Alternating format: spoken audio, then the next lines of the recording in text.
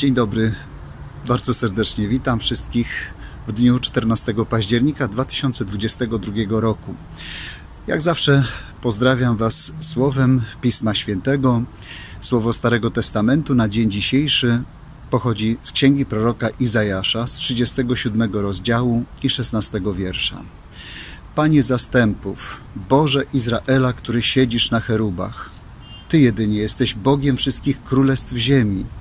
Ty stworzyłeś niebo i ziemię. Natomiast apostoł Paweł, nazywany apostołem narodów, w liście do Efezjan w rozdziale trzecim napisał Dlatego padam na kolana przed Ojcem, od którego każda ojczyzna w niebiosach i na ziemi bierze swoją nazwę, żeby obdarzył nas według bogactwa swojej chwały. Moi drodzy, 14 październik to szczególna data w kalendarzu dla wszystkich nauczycieli, bowiem ten dzisiejszy dzień, który przeżywamy, jest obchodzony w naszym kraju, w naszej ojczyźnie jako Dzień Edukacji Narodowej i po prostu Dzień Nauczyciela.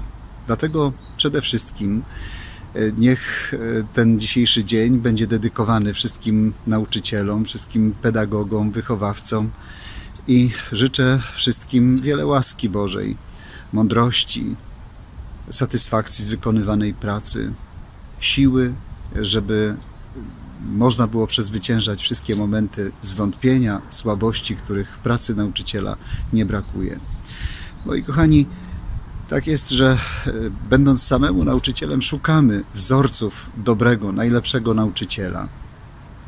Z pewnością każdy z nas ma w swojej pamięci swoich nauczycieli, swoich wychowawców z lat dzieciństwa i młodości. Wielu spośród nich może nam służyć jako przykłady.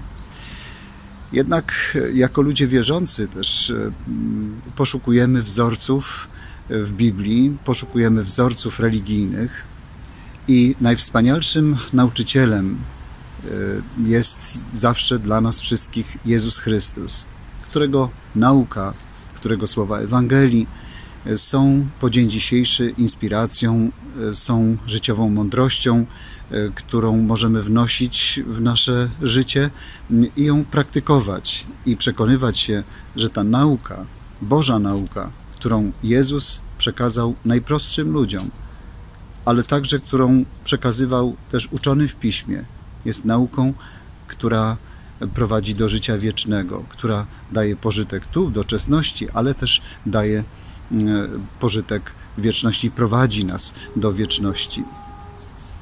My, którzy jesteśmy nauczycielami, e, czujemy w tym dniu dumę, e, ale też mamy sami przywilej czuć się uczniami wobec Boga, największego nauczyciela, którego nauka zawarta w Piśmie Świętym jest pożyteczna dla każdego człowieka.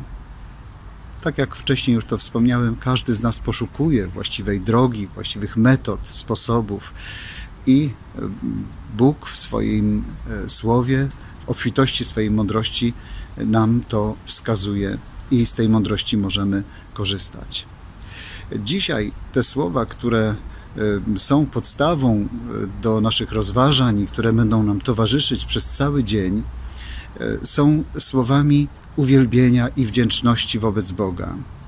Są słowami zachwytu proroka Izajasza e, i właściwie króla Ezechiasza, e, który wypowiedział te słowa e, wobec Boga.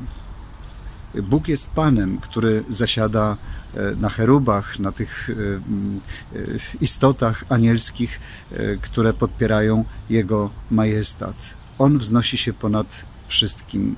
Jest Stworzycielem, jest Bogiem Wszechmocnym. I to zauważył też apostoł Paweł, e, który w pokornej modlitwie w liście do Efezjan e, pisze: Dlatego zginam moje kolana przed Ojcem. Tak, drodzy, i my również, razem z apostołem Pawłem, w geście czci wobec mocy i świętości, chcemy zgiąć nasze kolana i wyrazić swoją wdzięczność za wszelkie łaski, których dostępujemy. Bo Bóg przede wszystkim chce nas umocnić w tym naszym wewnętrznym życiu. E, To niezwykle ważne. E, Porzekadło ludowe mówi, że w zdrowym ciele zdrowy duch. To jest niezmiernie ważne, żeby był w nas zdrowy duch, bo jeśli duch jest zdrowy i mocny, to i ciało będzie pełne zapału do pracy. Dziś przede wszystkim prosimy Pana Boga, aby nas umocnił wewnętrznie, e, żeby dał nam radość e, z wykonywanej pracy.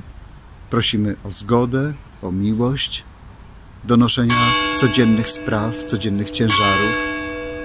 Niech obdarzy ten dzień swoimi promieniami radości i błogosławieństwa. Wszystkim życzę dobrego dnia.